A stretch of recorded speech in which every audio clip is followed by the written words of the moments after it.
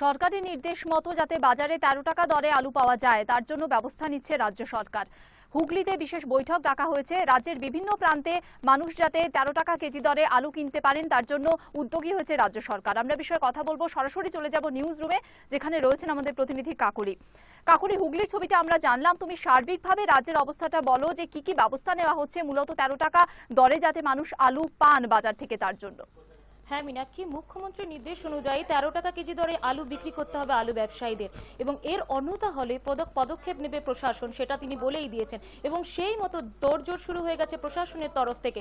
এবং প্রশাসন জানিয়ে দিয়েছে যে তেরো টাকা মূল্যেই আলু বিক্রি করতে হবে, নয়তো তার বিরুদ্ধে ব্যবস্থা নেওয়া হবে।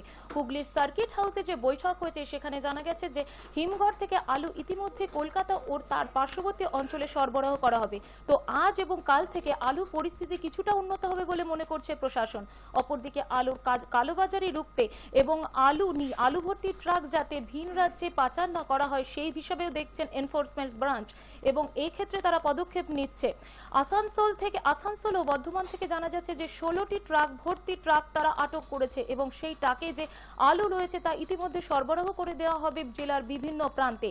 হুগলির বাঁশবেরিয়া বলো, শিলিগুড়ি বলো, রায়গঞ্জ বলো, সব জায়গায় ইতিমধ্যে সরকারি উদ্যোগে চলছে আলু বিতরণের কাজ এবং সেখানে তেরো টাকা কেজি দরে আলু বিকোচ্ছে এবং জানা গেছে, হুগলির বাঁশবেরিয়ায় তেরো টাকার থেকেও এক টাকা কমে তারা আলু দিচ্ছে এবং সরকারের এই উদ্যোগকে সাধুবাদ জানিয়েছে মানুষ, সাধারণ মানুষ। কিন্তু অপরদিকে বলা যায় না যে আলুর যে ব্যবসাটা চলছে, সেটা এখন মন্দার দিকেই যাচ্ছে। তার কারণ আলুর আকাল যাচ্ছে না বাজার থেকে।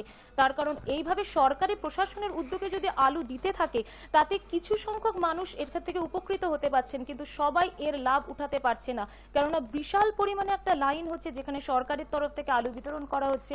সেখানে একটা বিশাল লাইন দিয়ে সাধারণ মানুষ নাকাল হয়ে যাচ্ছেন এই আলুটা নিতে। তবে মোটামুটি বলা যেতে পারে যে প্রশাসনে যদি এরকম উদ্যোগ চলতে থাকে, তো আগামী দিনে হয়তো কিছুটা হলেও আলু পরিস্থিতি কিছুটা হলেও সুফল লাভ করবে। তবে আলু ব্যবসায়ীদের যে পরিস্থিতিটা দেখা যাচ্ছে যে তারা সরকারের এই নির্ধারিত মূল্যে যদি এখন আলুটা কেনে তেরো টাকায়, তাহলে তারা বিক্রি করতে গেলে যদি সেই তেরো টাকা মূল্যে আলুটা বেচে, তাহলে তাদের লাভ আসবে না। অপরদিকে তাদের বক্তব্য যে আমরা মানে খুচরো ব্যবসায়ীরা যারা আলু কিনছে, তারা আলু কেনে পাইকারি ব্যবসায়ীদের কাছ থেকে। আর এই পাইকারি ব্যবসায়ীরা নিশ্চয়ই এর থেকে বেশি দামে বেচছে। তো তারা বেশি টাকা দিয়ে তারা আলুটা এনে কম দামে বিক্রেতাদের তারা বিক্রি করতে পারবে না বলে জানিয়েছে। সো এই ক্ষেত্রে দেখা যাচ্ছে যে সরকারের সঙ্গে যে সাধারণ আলু ব্যবসায়ীদের একটা দ্বন্দ্ব থেকেই যাচ্ছে। কিন্তু মুখ্যমন্ত্রীর নির্দেশ মতো এই প্রশাসন যে বলছে যে আমরা আগামী দিনে আলু আলু বিতরণে সমর্থ হবে এবং তেরো টাকা কেজি দরেই আমরা বাজারে এই মানটা রাখতে সমর্থ হব, সেই। সেটাকে সাধুবাদ জানাচ্ছে আপাতত সাধারণ মানুষ। মিনাক্ষী। ধন্যবাদ কাকুলি।